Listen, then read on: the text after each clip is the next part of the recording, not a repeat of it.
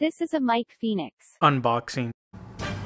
Hello everyone, it's Mike Phoenix. Welcome to the unboxing of Obelisk the Tormentor, um, the Egyptian god statue by Kotobukiya.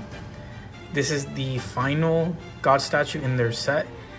This is the blue one. I know they had an exclusive uh, red one, but I decided to go with the original blue.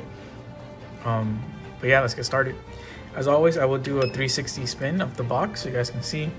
So again, you have the front, then you have the side, which is just an image how it looks like. The back, again, is a teaser of the other two statues, so all three statues. And then the back, again, is another image of Obelisk, and then we're back to the front.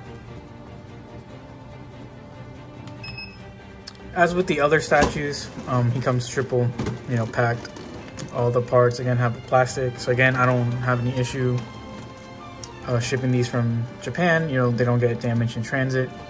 Um, I did notice that I think he comes with an extra hand that's probably like interchangeable. It's only one though. But yeah, I will open this off screen. So these are all the parts that come with Obelisk. Um, the main body's already set up. Pretty much the parts are just the two wings, the stand, two pegs, and then the extra hand that I mentioned. He only has one extra though and I'll do the assembly. So.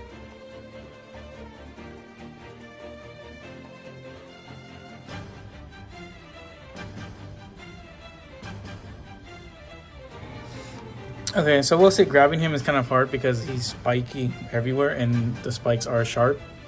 So it's hard to just like try to grab an area that you won't get pricked. Um, for the wings, they they're really touching the base, and I don't like that. Like you're scraping the base. I wish they made it like maybe a half a inch, a couple centimeters. I know it's in Japan, shorter, or like raise this part a little bit higher. I I just don't like that's touching the base. Um, overall, the quality looks good. Haven't seen any defects on him compared to Ra. As you guys remember, the Ra statue had some paint that was chipped off um, the hand is easy to remove. You just kind of twist it off. Then you can switch it. So depending which pose you want. Or not pose, but like hand.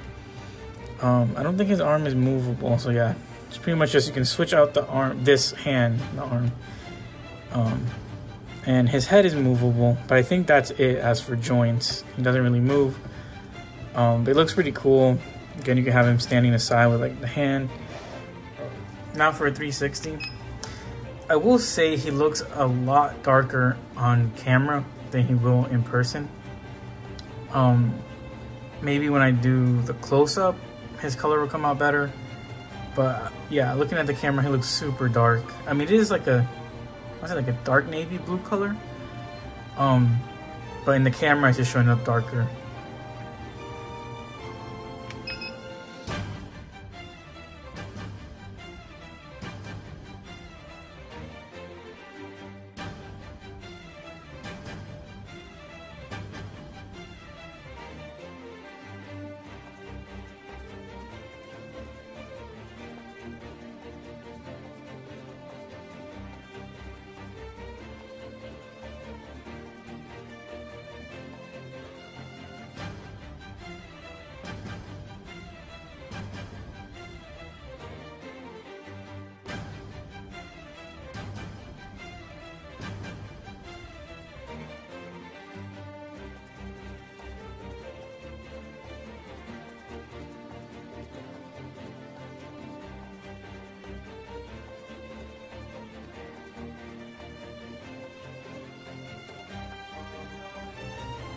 Overall, I really do like the statue.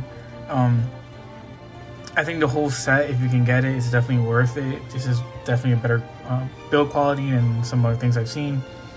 Um, I already, you know, expressed my complaints about this one. Mo mostly just that I don't think the wings should be touching the base. Um, but for Obelisk, it looks really nice. Again, I'm sorry that this part probably looks dark, but it's not dark in real life. Um, unfortunately, I think for this video, I won't be able to show the three statues side by side. Um, just because I don't have it won't fit in this box, all three statues.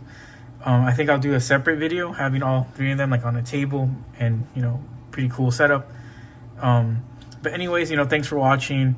Um, you know, remember to leave a like, comment, subscribe if you haven't already, and please let me know what content you guys want to see in the future. Thank you.